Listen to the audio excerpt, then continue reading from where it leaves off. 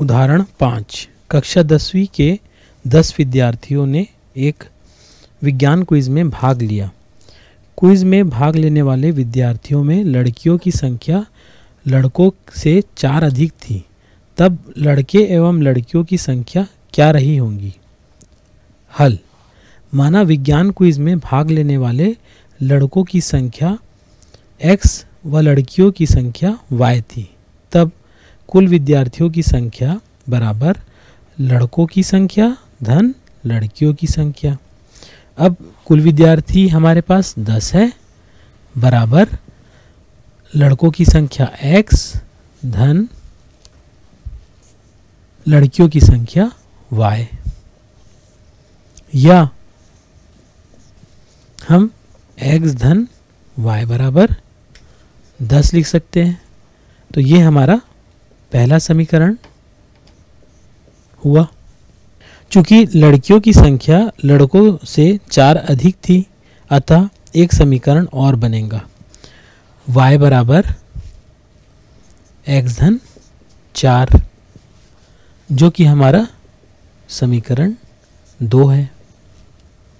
अब हम समीकरण एक व दो का आलेख खींचने के लिए x और y के संगत मानों की सारणी बनाएँगे और सारणी की मदद से आलेख खींचेंगे समीकरण एक में x का मान एक रखने पर y का मान नौ x का मान दो रखने पर y का मान आठ x का मान तीन रखने पर y का मान सात x का मान चार रखने पर y का मान छः x का मान पाँच रखने पर y का मान पाँच एवं x का मान छः रखने पर y का मान चार प्राप्त होता है इसी प्रकार समीकरण दो में सारणी दो में x का मान एक रखने पर y का मान पाँच प्राप्त होता है x का मान दो रखने पर छः x का मान तीन रखने पर y का मान सात x का मान चार रखने पर y का मान आठ x का मान समीकरण में पाँच रखने पर हमें y का मान नौ प्राप्त होता है एवं x का मान छः रखने पर y का मान दस प्राप्त होता है ग्राफ पेपर पर सारणी एक व दो से प्राप्त मानों को प्रदर्शित करते हैं। तो दो सरल रेखाएँ L व M प्राप्त होती है।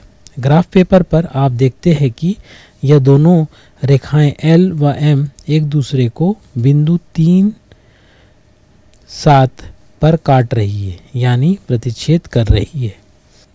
यह बिंदु दोनों समीकरणों से प्रदर्शित सरल रेखाओं पर स्थित है।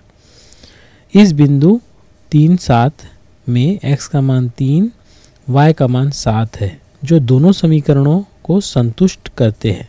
यानी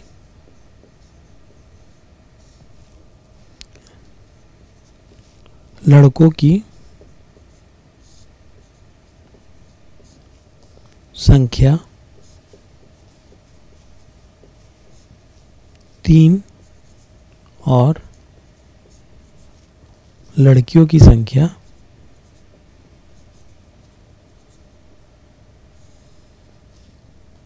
लड़कियों की संख्या सात है। तो हमने आलेख से प्राप्त किया कि लड़कों की संख्या x बराबर तीन और लड़कियों की संख्या y बराबर सात है। यह इस प्रश्न का हल होगा। समीकरणों के द्वारा प्रदर्शित सरल रेखाओं का कटान यानी कि प्रतिच्छेद बिंदु ही उन समीकरणों के हल होते हैं। क्या प्रत्येक परिस्थिति में हम एक दूसरे को काटती हुई सरल रेखाएँ प्राप्त कर सकते हैं? बल्कि अलग अलग परिस्थितियों में बने समीकरणों के लिए आलेख पर प्राप्त सरल रेखाएँ अलग अलग रूपों में दिखाई देती हैं। आइए इन्हें समझें। पहला, जब समीकरणों से प्राप्त रेखाएँ एक दूसरे को किसी बिंदु पर काटती हों, तब समीकरण का अद्वितीय हल प्राप्त होता है। कटान बिंदु के मान ही समीकरणों के हल होते हैं।